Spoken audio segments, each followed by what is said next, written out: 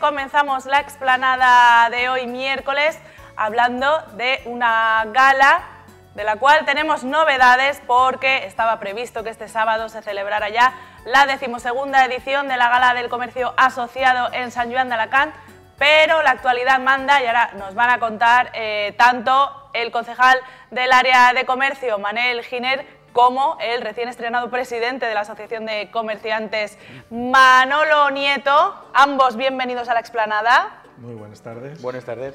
Buenas tardes eh, y tenemos novedades. ¿Qué ha pasado con esta gala del comercio que con tanta ilusión quería anunciar? Y bueno, la ilusión se mantiene, pero vamos a tener que guardarla para más adelante, ¿no? Eh, correcto. Bueno, eh, simplemente fruto de lo que está ocurriendo, de la crisis eh, sanitaria que tenemos en este momento y sobre todo por recomendación de, los técnicos, que es a los que hay que atender en, este, en, estos casos, no hay cuestión política de ningún tipo ni organizativa, pues desde el área de salud se nos ha recomendado que todos aquellos actos y eventos que supongan aglomeración de gran cantidad de gente, pues que con prudencia se pospongan, se retrasen, que es lo que realmente hemos estado hablando esta mañana con, Manuel, el presidente de la asociación, y le hemos contado que por recomendación del de salud y siguiendo las directrices que nos están dando desde Sanidad, pues que sería recomendable eh, no suspenderla, porque no se va a suspender, simplemente se va a postergar pues a esos 15, 20, 30 días, en el momento que tengamos otra vez la posibilidad de montarlo a nivel de infraestructura con el espacio disponible, pero vamos que simplemente es un retraso, la gala continúa, la gala se va a hacer este año con total normalidad porque estamos seguros que la crisis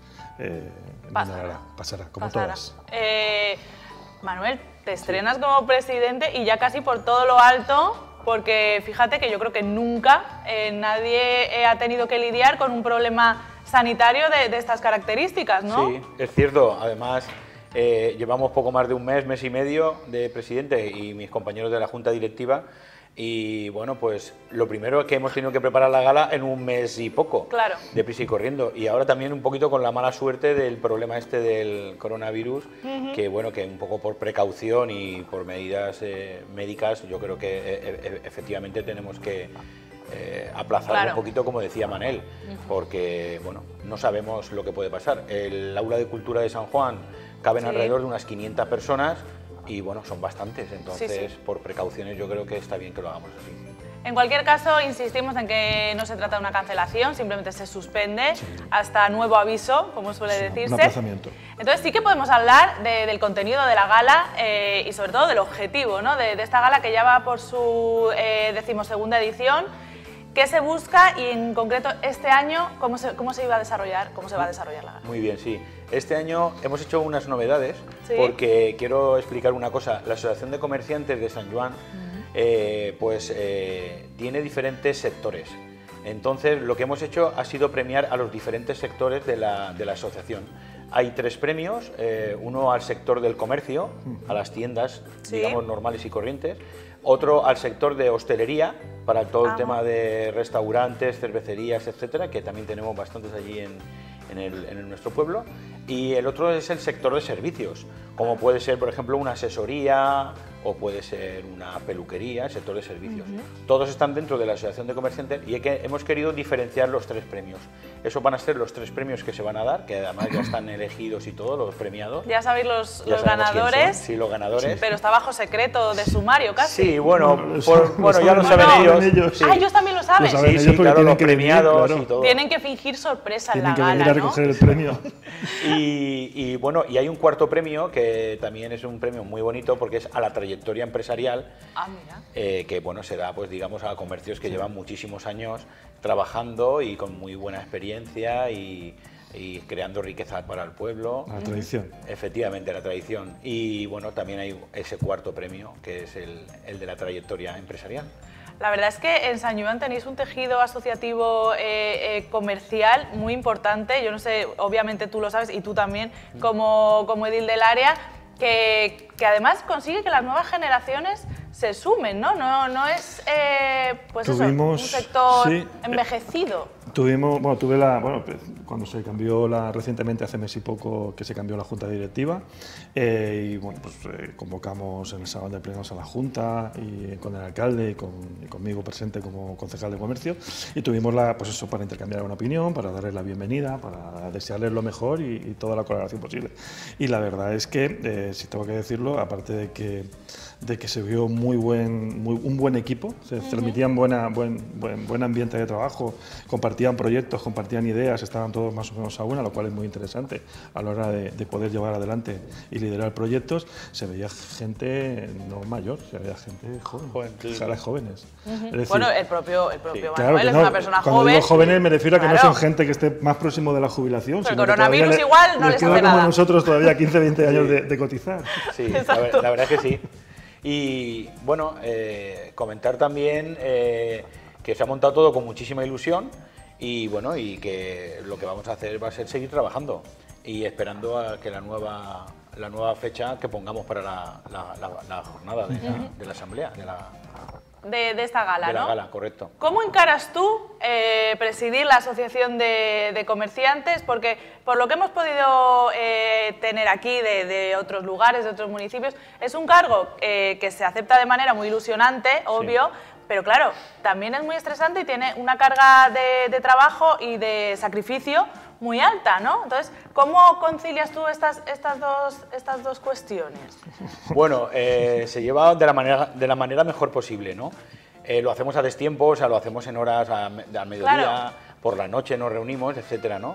Y nosotros tenemos varios objetivos planteados ya para la nueva junta directiva durante este año y bueno, tenemos cuatro objetivos importantes. Uno es el de la formación, otro objetivo es el de las campañas de promoción conjuntas, otro objetivo va a ser el tema de, el tema de las reivindicaciones que necesitemos de la asociación y otro objetivo es la interrelación entre asociados, que siempre es importante para que la gente se dé cuenta de, cómo estamos funcionando en la asociación y, poder eh, explicar todo lo que hacemos a los asociados y eso mediante página web y todo este tipo de, que hay ahora de redes sociales lo vamos a, poder llevar a cabo muy bien. Tenemos gente dentro de la junta directiva muy bien preparada, informáticos y tal, y yo creo que vamos a dar un buen servicio para que la gente no diga que a veces en las asociaciones dicen asociación no sé muy bien para qué me sirve. Claro, pues ¿qué beneficios tengo? Efectivamente, sí. También tenemos planificado firmar unos convenios de colaboración con empresas de, por ejemplo, de, y del tema de luz, con, con Fox Energía, por ejemplo, que nos vamos a ahorrar entre un 15 y un 30% en los comercios y en el sector de hostelería, que es muy importante. Hombre, claro. Hay que tener en cuenta que, por ejemplo, el gasto de luz en los comercios y en la hostelería es el segundo gasto más importante después del personal. Es un gasto bastante importante. Entonces, simplemente porque te puedas ahorrar dinero en el coste del recibo de la luz, ya te interesa estar dentro de la asociación de comerciantes. ¿Cuántas personas, cuántos comerciantes aproximadamente están asociados ahora mismo? Pues estamos cerca de los 100, estamos sobre los 90 y pico asociados. Y, siempre abiertos, obviamente, a, recibir socios nuevos, claro. Sí, por supuesto. Es que yo, mi objetivo, el objetivo de la Junta Directiva es llegar a 150, ah, que, perfectamente lo podemos conseguir. Sí, sí. Yo creo que lo podemos conseguir y con mucho trabajo, pero bueno. Sobre todo vamos a querer que la, la Asociación de Comerciantes tenga mucha actividad y que le podamos dar servicio a nuestros asociados, que, se vean representados en la asociación e interesante estar dentro de la asociación por los diferentes convenios que se estaba diciendo. Tenemos, sí, perdona, tenemos también otro convenio también de colaboración conjuntamente con FAPIME, con la Federación Alicantina de Comercio, con el Banco de Sabadell, para el tema de préstamos y todo el tema de este tipo económico que nos, que nos viene muy bien a los, em, a los empresarios. Y también vamos a firmar otro convenio con una empresa para el tema de página web, para el, alojamiento de las páginas web de nuestros asociados. Que con eso lo que conseguimos que el famoso hosting de todas las páginas web, eh, que todos los, lo pagamos todos los meses, que a lo mejor son 40, 50, 60 euros, o sea, al año, perdón, la cuota es al año 40, 50, 60 euros, pues eso seguramente lo vamos a poder meter dentro de la asociación y que lo asuma la asociación. Y, el, y el asociado se lo va a ahorrar. O sea, que tiene, tiene eh, ventajas económicas que obviamente pues, a todo comerciante le vienen, le vienen estupendamente. Has hablado de la formación y es uno de los grandes retos ¿no? del comercio actual, pues entrar en esas nuevas formas de comunicación como son las redes sociales, en fin, todo el entorno digital que se dice, hay que incorporarlo, ¿no? Y a veces nos topamos con comercios eh, tradicionales que nunca eh, se han planteado hacer este tipo de, cambios, pero es obvio que, hay que pasar por ahí, ¿no? Sí, la formación es un capítulo importante y pensamos que eh, todos los comerciantes y los empresarios tenemos que estar formándonos continuamente. Claro. lo, que, lo que nosotros queremos hacer y tenemos pensado hacer es, vamos a pasar una encuesta a todos los eh, asociados y vamos a querer que nos pongan toda la formación que ellos necesitan ah, para poder hacer una formación a la carta. Si ellos, por ejemplo, necesitan un curso de redes sociales, pues lo vamos a tener. Si necesitan un curso de inglés práctico para el tema de la hostelería, pues lo, tendremos. O de técnicas de marketing o de lo que haga falta. Todo eso lo vamos a intentar con esa pequeñita encuesta que queremos hacer para que ellos mismos nos digan qué formación es la que necesitan. Creo que es lo mejor para que así todo el mundo que pida lo que necesite y lo que tengamos que hacer pues lo haremos, trabajaremos en esto y siempre la formación la vamos a dar gratuitamente. Aprovecho para, para decir que con la Federación Alicantina de Comercio, y Manuel también lo sabe, vamos a hacer una, una, jornada estupenda en San Juan eh, el día 24, que es martes. Eh, bueno, de momento se va a hacer. Bueno, sí. De momento, se va a hacer. Esta de momento se va a hacer. Vamos, a, el día 24. vamos a andar con cautela porque... Sí. Bueno, no va a ser de mucha gente. Más o menos seremos alrededor de unas 100 personas, 80 o 100 personas. Eh, esperemos que no se tenga que, tengan que aplazar también. El día 24. El día 24, sí. Van a venir eh, cuatro personas eh, que nos van a dar cuatro charlas muy interesantes, sobre todo para el tema del comercio, ¿no?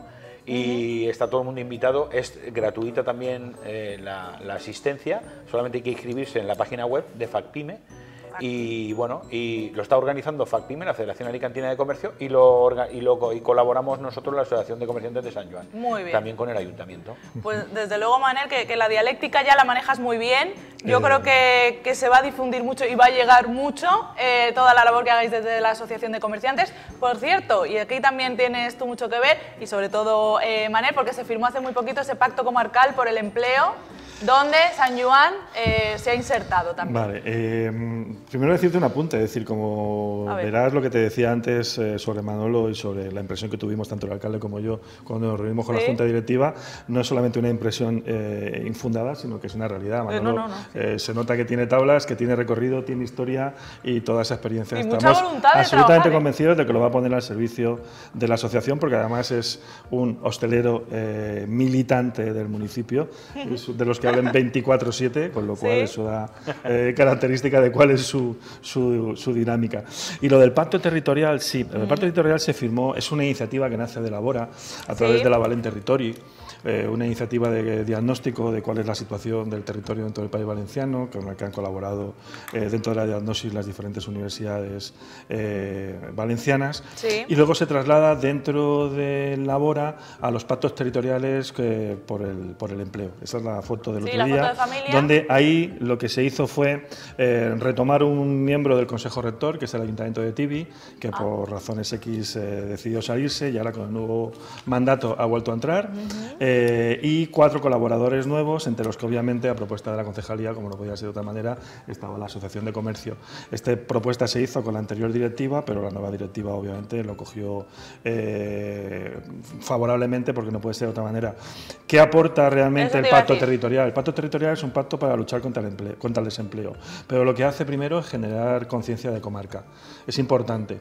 ¿Por qué es importante generar conciencia de comarca? Porque los problemas que suelen haber en un mundo globalizado, como estamos viendo ahora, con las crisis y las epidemias, los problemas y las soluciones también son globalizadas o como mínimo suman a más de, una, de un actor. Entonces, desde línea de subvención hasta encontrar problemas eh, conjuntos, eh, necesitas de un mínimo de población que te afecte, que son 100.000 para formar un pacto, 100.000 habitantes en la, por pacto o un mínimo de 5 municipios. ¿Qué pasa? Pues que realmente los problemas que tenemos de movilidad en toda la comarca de Alacantí pues pueden ser asimilables o complementarios.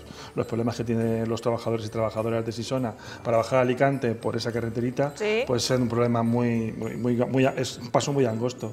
La falta de tram, por ejemplo, para los trabajadores de Muchamel o de San Joan, pues es otro problema. Eh, Sisona se podría enganchar a Muchamel si hubiera un trazado de línea. Entonces, no solamente es la lucha con acciones muy puntuales eh, para la lucha contra el desempleo, sino que se hace una puesta sobre el terreno de esa diagnosis que se hizo en un momento determinado dentro de un pacto territorial que es un pacto comarcal, donde están los agentes que forman parte, tanto los las administraciones, que son los ayuntamientos, como la Asociación de Laderos, Cruz Roja que se ha incorporado ahora, la Asociación de Empresarios de la Comunidad Valenciana, la Asociación de Empresarios y Empresas Afines de San Juan.